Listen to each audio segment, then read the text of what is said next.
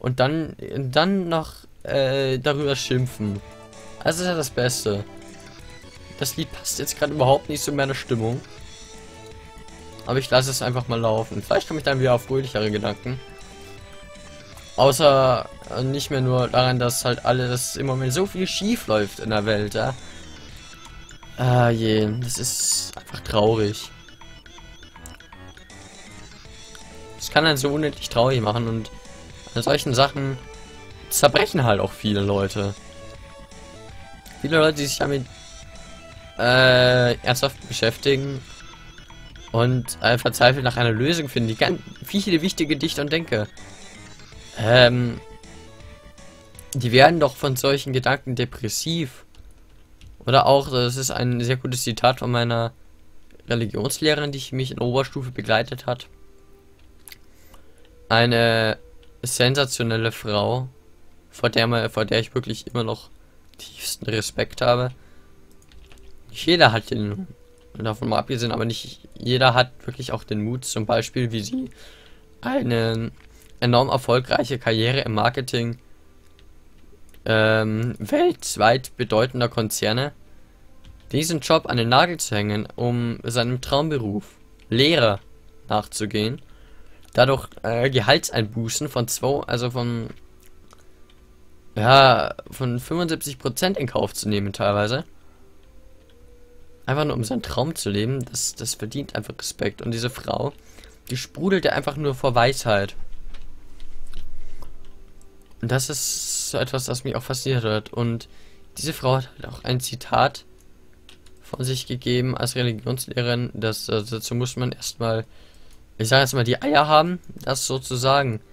Aber wenn man auf die Frage einer Schülerin, wenn es Gott gibt und er das ganze Leid auf der Welt sieht, dann muss er doch Depressionen haben. Wenn man dann noch als Religionslehrer die Eier dazu hat, um zu sagen, hat er auch, dann merkt man wirklich, dass wirklich einiges auf dieser Welt schief läuft und dass halt auch viele Dichter und Denker, die eigentlich unter normalen Umständen so viele Lösungen für alle Probleme des Lebens haben, dass sie wahrscheinlich auch in dieser Situation, wie sie aktuell da ist, komplett ratlos werden. Jeder misstraut jedem, jeder spioniert jedem aus. Vertrauen ist etwas, das existiert im Moment ja förmlich gar nicht mehr. Das waren noch Zeiten, als man wirklich gesagt hat, wir vertrauen einander. Unter guten Freunden spioniert man sich nicht aus. Ja, ist klar. Gute Freunde helfen ja auch einander und spionieren dafür andere aus, die uns wiederum für gute Freunde gehalten haben, ne? Diese Doppelmoral auch, die in der Gesellschaft äh, verbittert rumliegt. Und auch diese berühmten Aber-Sätze. Ich habe nichts gegen dies und das, aber es, es macht auch die Welt kaputt. Selbst das will ja niemand zugeben. Das Leben hat doch eigentlich so viel, so viel Schönes. Aber wir schaffen es mit unserem täglichen Treiben quasi das Schöne mehr oder weniger restlos in Vergessenheit zu treiben, beziehungsweise sogar zu vernichten. Dass man das einfach mit so leichten Dingen schon schaffen kann. Das ist doch eigentlich schockierend. Ich plane hier übrigens gerade ein Haus nebenbei. Neben dieser ganzen Tiefgründigkeit sollte das vielleicht auch mal erwähnt werden, dass ich ein kleines Häuschen baue. Ähm, Und es ist halt einfach auch teilweise wirklich nur noch frustrierend, was in der Welt passiert.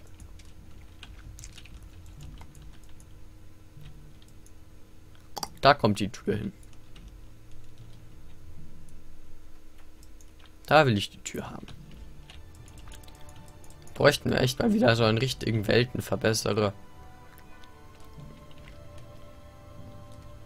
Und jemand, der sich auch etwas traut zu verändern. Das, äh, das Traurige ist, jetzt wo ich das sage, fällt mir nicht einer ein, der das sich überhaupt schon mal getraut hat. Einfach mal das Maul aufzumachen, um die Welt ein Stückchen besser zu machen. Wer war der Letzte, dem man das vielleicht, bei dem man sagen könnte, er hat es gemacht?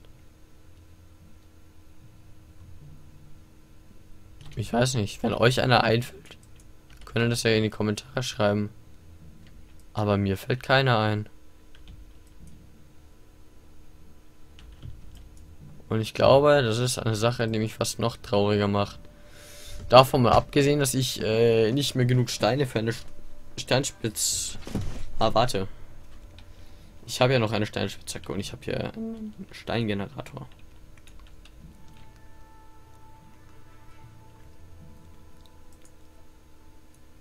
Man sollte von allem schon immer genug haben.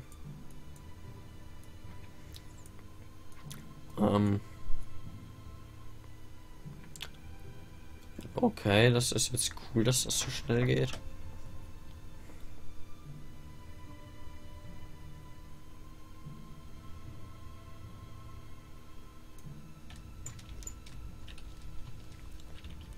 Ach komm, einen noch. Oh mein Gott, das war jetzt ein Lex sondergleichen. So, jetzt geht das. Ähm, ich weiß gar nicht mehr, wo ich war letztendlich tatsächlich. Es ist fast schon wieder etwas traurig. Ähm, ja, wir brauchen wieder einen, der gute, gute Ideen hat, die Welt zu verbessern. Und das sagt sich jetzt leicht, aber... Was ist das denn?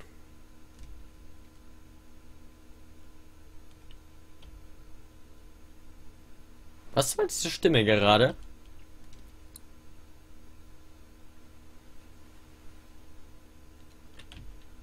Na egal.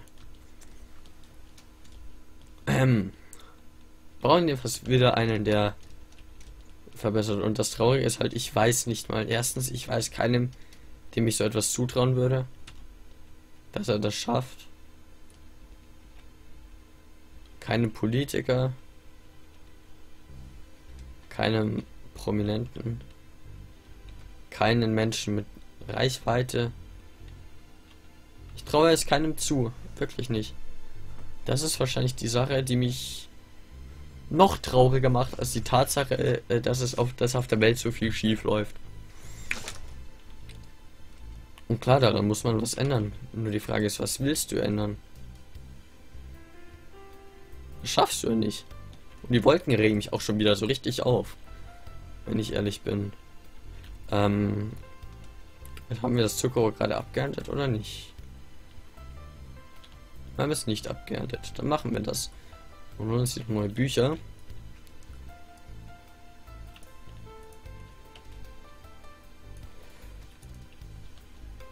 Naja. Es ist kompliziert geworden.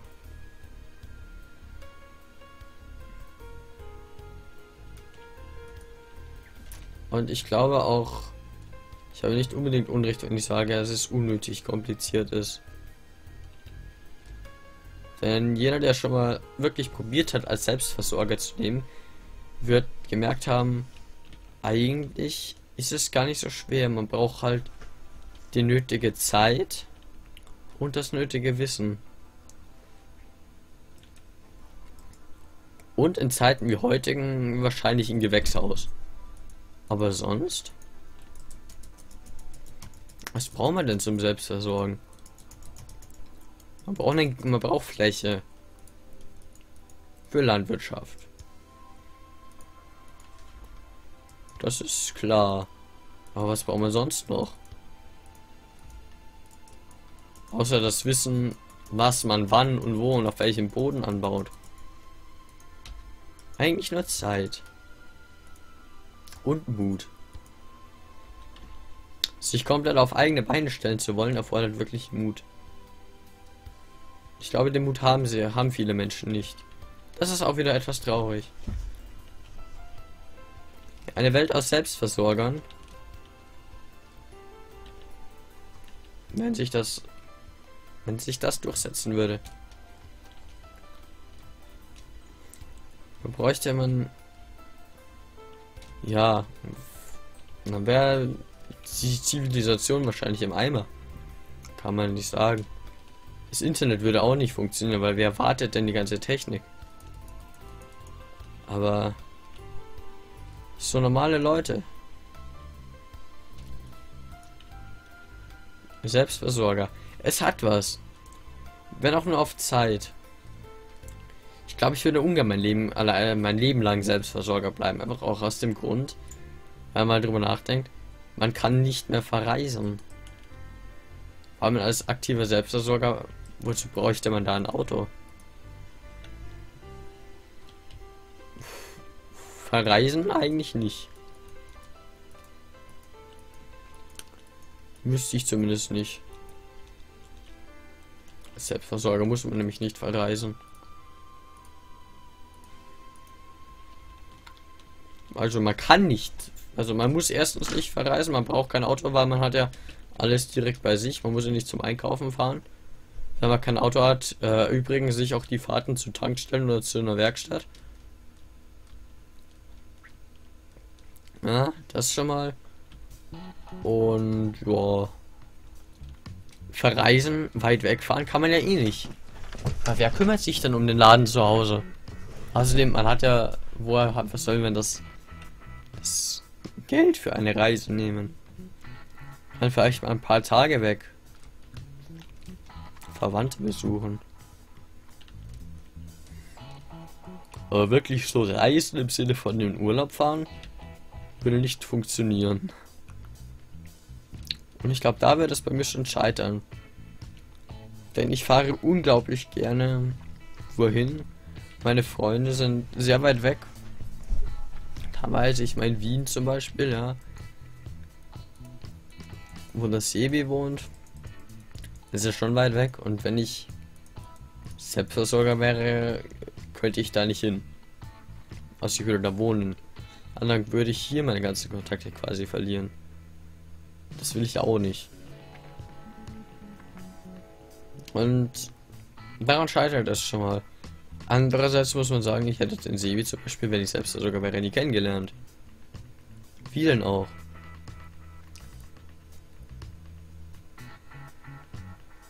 Wenn er Selbstversorger wäre.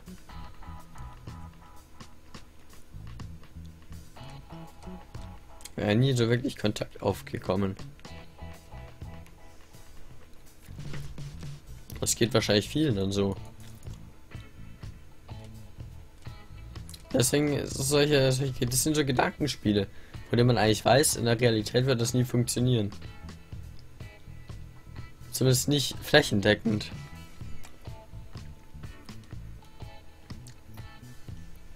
Aber in, in solchen Spielen, in solchen Aufbauspielen, machst du ja prinzipiell nichts anderes, außer dich konsequent selbst zu versorgen. Gewerkschaft zum Beispiel. Außer du spielst auf friedlich, wo du nicht essen musst. Aber ansonsten bist du ja Selbstversorger hier in dem Spiel.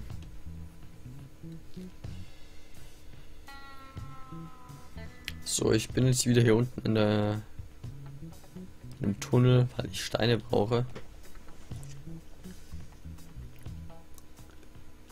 Tag mal die paar Hacken, die ich noch habe. Dann müssen wir hier mal wieder so ein richtiges Vortriebskommando haben.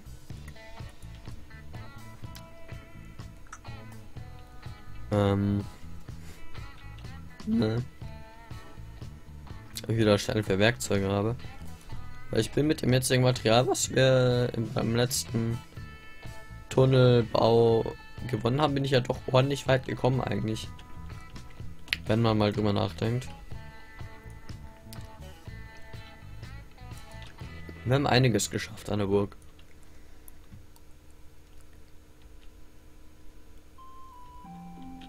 Ja, man wird etwas sentimental beim Spielen irgendwie. Warum weiß ich gar nicht. Ich kenne keinen offensichtlichen Grund. Aber eigentlich muss ja nicht immer alles den Grund haben, oder? Ich weiß es nicht. Ich weiß so vieles nicht. Es macht einen einerseits traurig, aber andererseits ist man... Ich glaube, ich bin glücklich, nicht alles zu wissen. Wenn man alles weiß, die ganzen negativen Sachen, die man da wissen könnte. Das wäre, glaube ich, für viele nichts und auch für mich nicht. Ich glaube, dann könnte ich nicht mehr glücklich werden. Das wäre, glaube ich, nicht möglich. Da vorne ist eine Höhle, so wie das aussieht.